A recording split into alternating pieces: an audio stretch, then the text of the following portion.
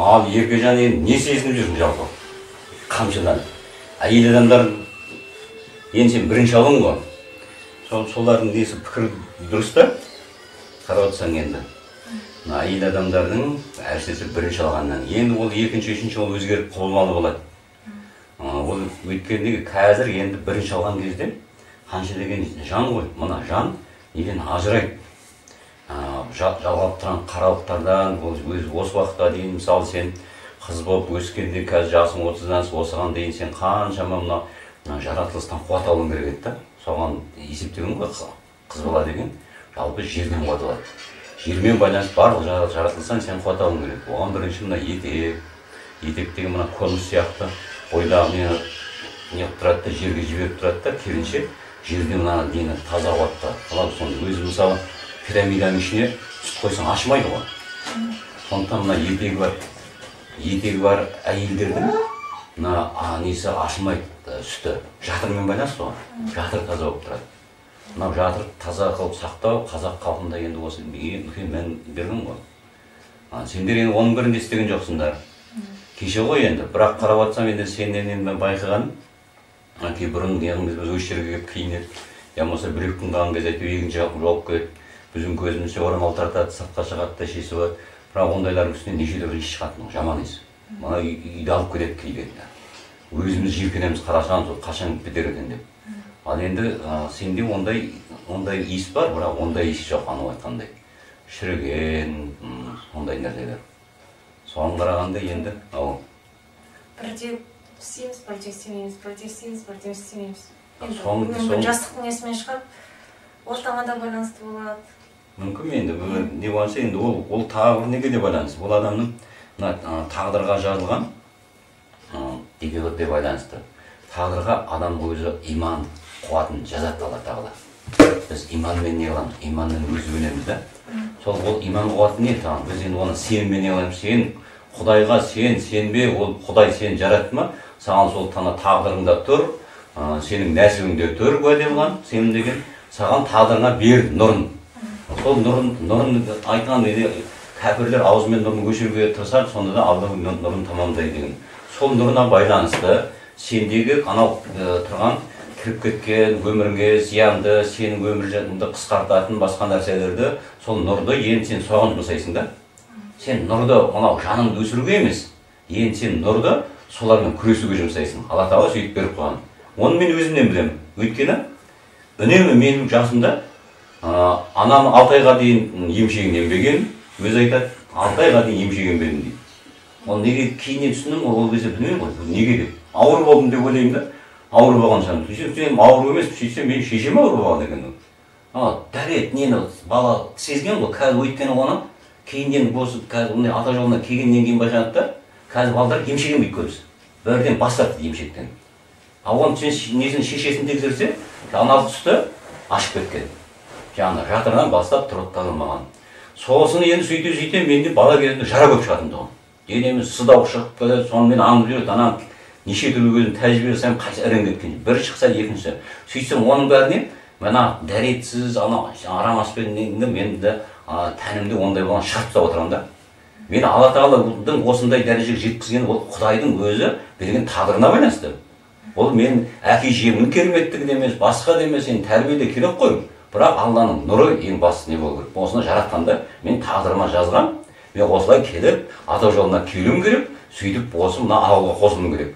Сонда мен көп нәрсені өзім қазір есіме аламын сонда шығарып тастап отыратын тұғым тіптен ол сонда көр мынау арамға неге дегенде ол не болмады темекі дегенде шылым дегеннің иісінен алыстан қашатын тұғым жиіркенетін ол еркектер шылым шеккен бұл неге? Сонда ол анау тұрған алла тағала иммунды өзі береді.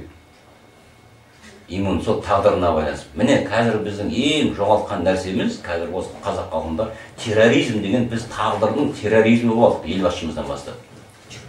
Қазақ халқының тағдырын құрды міне енді сен осы қазір ең бір осы өмірге осы қазақ халқына үлес қосатын ұрпақ өсіретін соның бәрін осы текті ұрпақ м, осы қазақ болашағы сендердің да сен әлі отыз жасқа келдің әлі иә күйеу жоқ енді күйеу болмаған бала қайдан болады? Енді оған дейді әлі сен өзің тазалығыңа сол деңгейге келмейді енді сен ойлай берсең осы білім арқылы мен бақытты боламын деп өзің ойың сол ғой мақсатың солай емес па жоқ мақсатым ондай емес білім арқылы бақытты боламын деген де мақсатым жоқ ондай ой да жоқ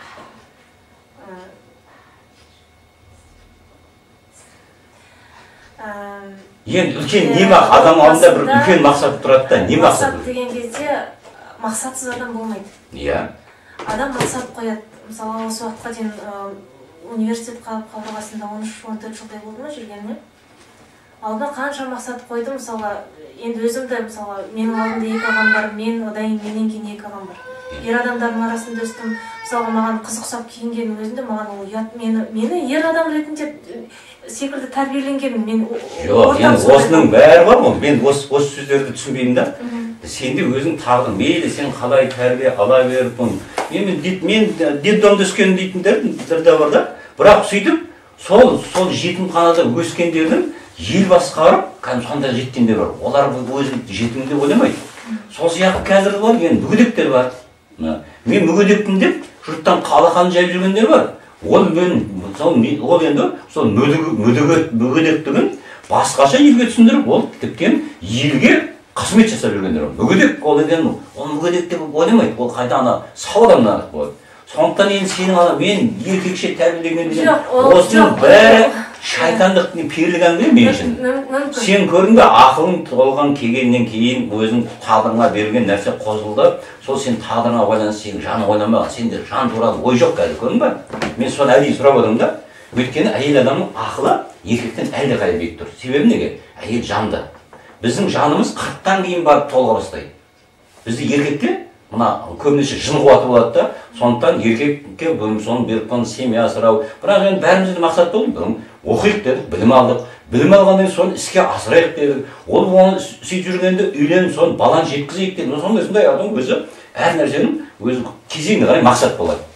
Бірақ біздің мақсатымыз жас кезімде біз қалай да мына еркек тұрымда біздің бір жақсы әйеліміз болса екен сол әйеліміз ата анамызға жақсы екен деген бір ой болды да біздің мақсатымыз сол болды. Сөйтіп үйленген ол кезде бірақ ол баламыз болсын деген ой болған жоқ. Үйленгеннен кейін енді сол бала туралы ойландық.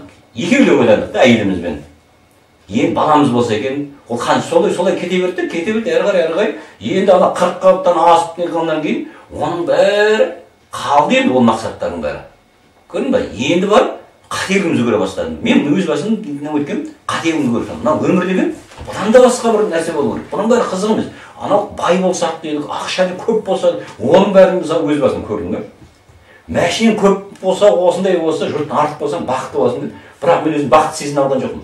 Шынымен машина де болды байлық та болды бәрі де болды да. Алла тағала берді бұны. Бірақ мен өзім бақытты сездім бірақ бір бақытты болу керек деген мен оймен осы ата жолын сөйтіп ізденіп келдім да бір бақыттың бір несі бар ғой деп. Енді ата жолына келгеннен кейін шамалы түсініп ақыры түсіне бастағаннан кейін менде бірден не болды алла тағала менің кемшілігімнің кедейлігім болсын деп сұрадым да.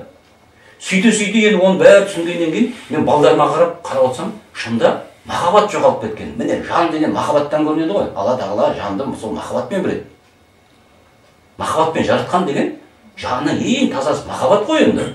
Сол махаббат қазір мен балдарымда жоқ. Енді бұл айтсаң оны әйел сенің балаң деген бәрінен артық қой дейді. Не сен соншама не бола бересің дейді. Бірақ еркек ана асқақ биік ойлану керек та. Өйткені ол баланың да баласы болады ғой. Бізден өзіміз балдарға махаббат қуатын бере алмағаннан кейін ертең немере шөбереден не күтеміз? Келіндер қарасаң келіндердің бәрі рухани мүгедек. Солай жаңа сен айтқандай мен тәрбиелендім осылай дейді. Көрдің ба? Енді оған енді енеден қуат беретін енесінің түрі анау кешегі қырықтан кейін барып етегін жапқан. Сол ғой енді осы осындай осындай келеді да бірақ осыны құдайдың өзінің толтыратын жүйесі бар екенін түсіндім да құдай сол сенің бар кемесін толтырып қайттан сені періштедей сондай тазартуға жеткізеді сені қайттан сол қуатқа жеткізеді екен.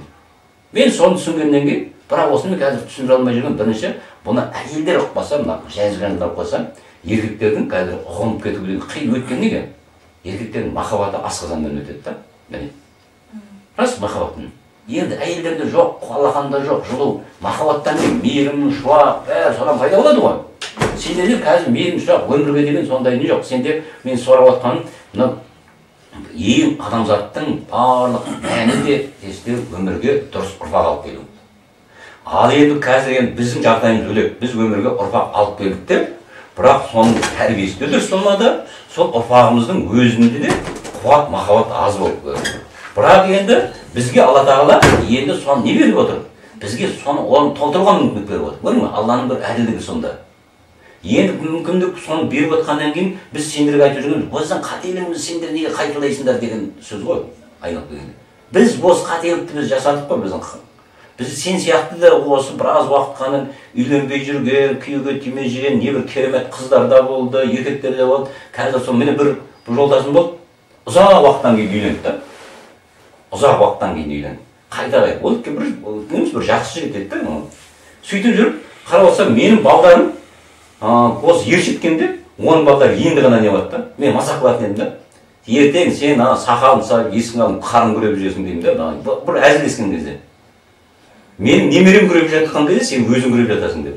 Солай машында өзі де айтады шынында дейді ерте үйлену керек уақытылы үйлену керек шынында бұл қиын екен дейді да. Сол ғой. Сол сияқты әйелге де сондай. Сен қазір отызға келіп ертең қырыққа келгенде туған туасың ғой ол алла тағала қырыққа келгенде оны қырыққа келген туған балаң уайым болады да. Ойбай мен өліп қалсам не болады мына бала не болады деп. Сол сияқты әр нәрсенің өзінің кезеңі болады әйелі өзінің бір қойған кезеңі бар. Еркекке асықпайды еркекке тоқсан жаста да. Мынау жүз жасында ысқақ пайғамбар өмірге келген ғой. Сонда да енді бүкіл сол ысқақ пайғамбардан христиандар әлемі тарап отыр да. Біздің қаншама ата бабаларымыз жүз жиырмада да бала өмірге келген содан біз тарап отырмыз ұрпақтар ол еркекке ешқандай не жоқ. Өйткені баланың ана ана соған сәйкес болу керек та баламен бірге.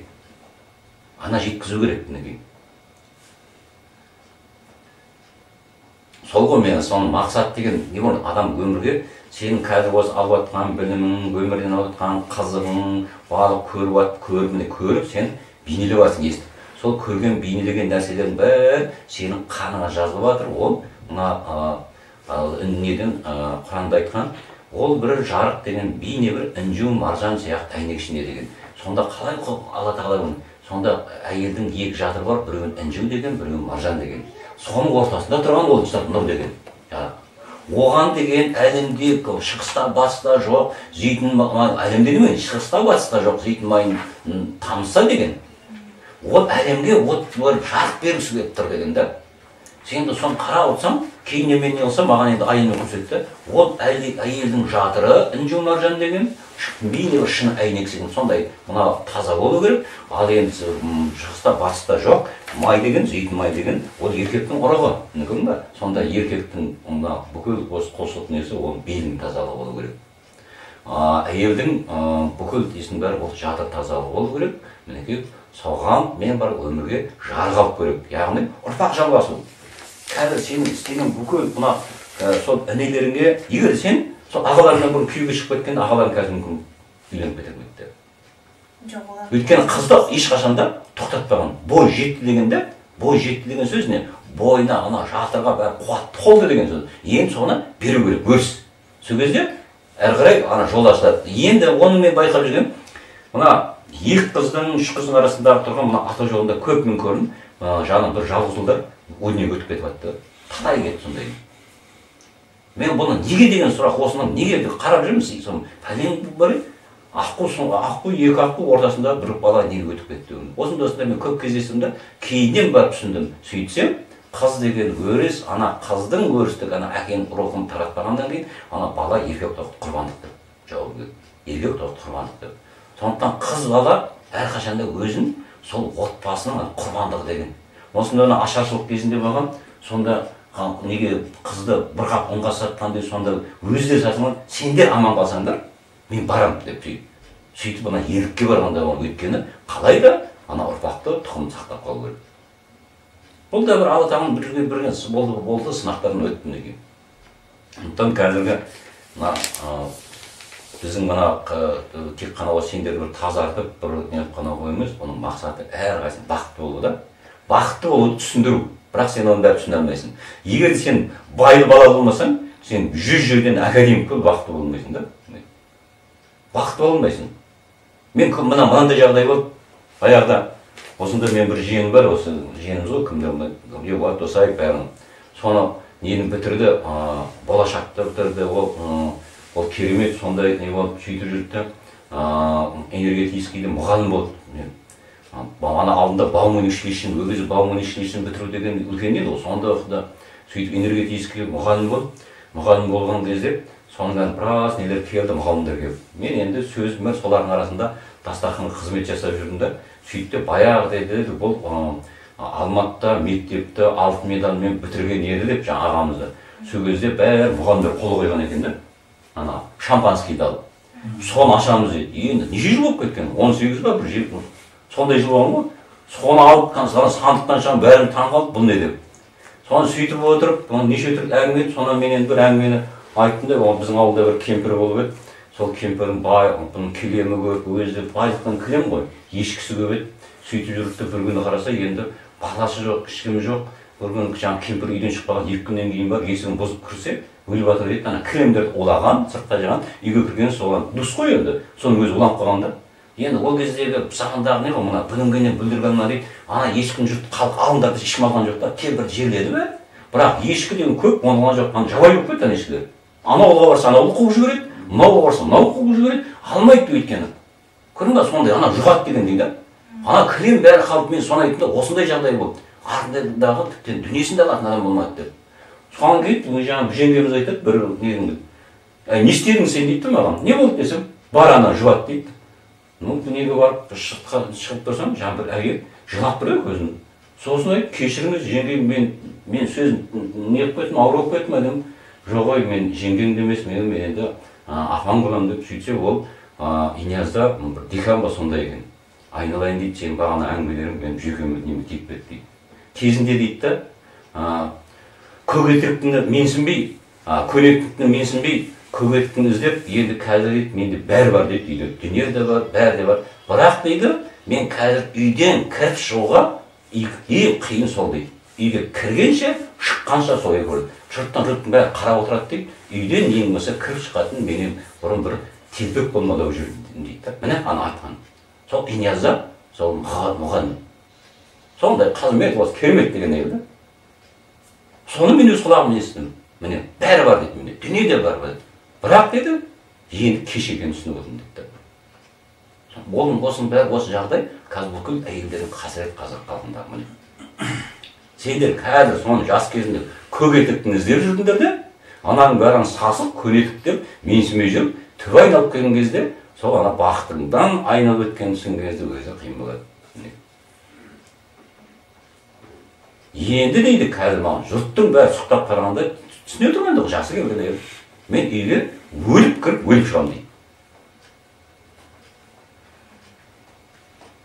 Сондықтан мен жаңағы мақсат деген бірінші әдемі мына ана жалғыздық құдайға жарасқан деп біздің қазақ халқының дәстүрі қандай әйел болсын не болсын тіптен үлкен мен үлкен әйелді өзінің інісіне ана өліп қалды біздің ауылда болды сол қайтыс болды да оны інісі не оныншы класста жүреді оныншы класс. Соны оныншы класс бітірген бойдан алды да ол жылап қашып мен мен құрдас та енді. Ол жылап қашып күйеуі ақыры соған некеленді мектеп бітірмей ақ некелендірді сөйтіп жүріп алды да сол әйелден оның баласы да ол енді қазір ол дүниеге өтіп кетті. Осындай да көрдім ана ағасының баласын да бақты онан да өзі бала көрді. Кейіннен айтты енді саған тағы әйел алып берейін дегенде ол келіскен жоқ. Керегі жоқ деп. Сөйтіп мен сол бір класстасым соның өмірден өтті досым бір осындай жағдайлар болды көрдің ба оның есесіне артында ұрпақ қалды ал не қыламыз шарт бастаймыз ба